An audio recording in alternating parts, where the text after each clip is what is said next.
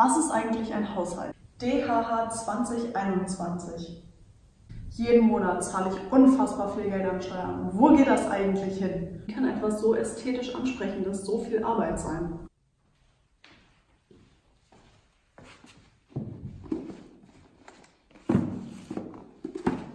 Herzlich willkommen auf meinem YouTube-Kanal. Heute gibt es ein finanzpolitisches Special.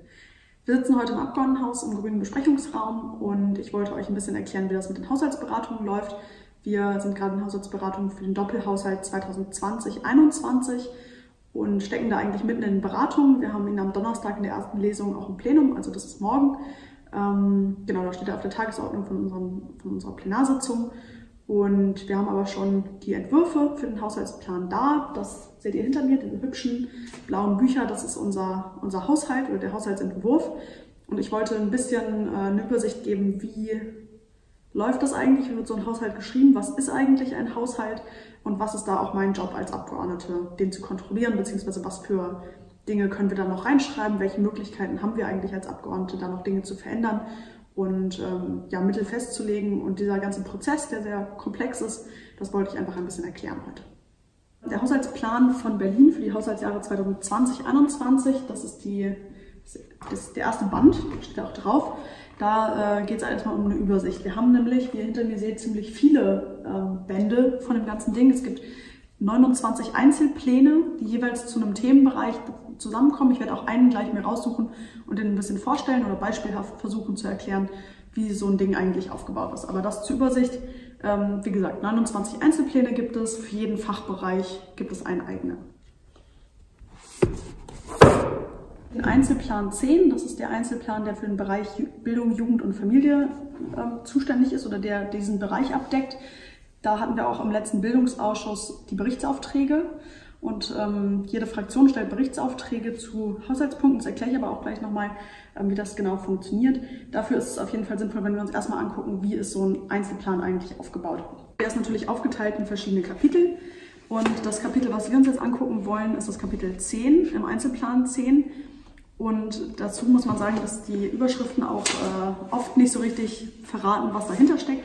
Zum Beispiel ist unser Kapitel ist ähm, Grundsatzangelegenheiten und Recht des Bildungswesens, allgemeinbildende Schulen und Lehrkräftebildung. Und darunter interessieren wir uns jetzt für einen Titel, der die Bezeichnung hat Sonstige Zuschüsse für kulturelle Projekte im Bildungsbereich.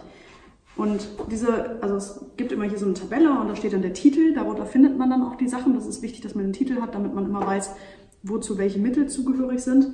Ähm, das ist auch wichtig für unsere Berichtsaufträge, das erkläre ich auch gleich nochmal. Wichtig ist, dass quasi man sich so ein bisschen durchraten muss, was hinter bestimmten Titeln steckt. Zum Beispiel sonstige Zuschüsse für, Projekte, für kulturelle Projekte im Bildungsbereich kann natürlich so alles und nichts heißen. Hier ist es so, dass Teilansätze aufgeschlüsselt sind von der Senatsverwaltung. Beispielsweise haben wir hier den Teilansatz Nummer 4, das ist das Mach-mit-Museum für Kinder. Und Im letzten Bildungsausschuss hatten wir das Thema auch auf der Tagesordnung. Wir haben uns den Bildungshaushalt angeguckt und haben Berichtsaufträge formuliert. Das macht sowohl die Opposition als auch die Regierungskoalition. Es ist ja so, dass wir als Parlament sind wir die Legislative und die Verwaltung ist die Exekutive. Und wir ähm, sind diejenigen, die das Verwaltungshandeln kontrollieren sollen. Und da spielt es dann keine Rolle, ob wir in der Regierung sitzen oder die Regierung stellen. Wir sind ja nicht selber die Regierung, sondern unsere Senatoren sind die Regierung, die Chefs der Verwaltung. Und dementsprechend stellen wir als Koalition auch viele Berichtsaufträge. Ich habe ja eben den einen Punkt vorgestellt, wo wir uns das Mach-Mit-Museum angeguckt haben, als ein Beispiel aus einem, aus einem Bereich, wo es um die kulturelle Bildung geht, außerschulische kulturelle Bildung. Und da ähm, steht dann zwar irgendwie ein Titel und da steht dann auch ein kleiner Satz dazu, aber wir wollen manchmal brauchen wir als Abgeordnete auch mehr Informationen zu dem einzelnen Titel, wann wurde der ausgegeben, warum, ähm, warum brauchst du da jetzt mehr oder so. Und solche Dinge können wir dann abfragen mit den Berichtsaufträgen. Und in ein paar Wochen werden wir die Berichtsaufträge haben. Das wird die Verwaltung jetzt bearbeiten und unsere Fragen, die wir formuliert haben, werden die uns schriftlich dann beantworten. Und auf der Grundlage davon können wir natürlich dann gucken, ob wir irgendwo noch gegensteuern müssen.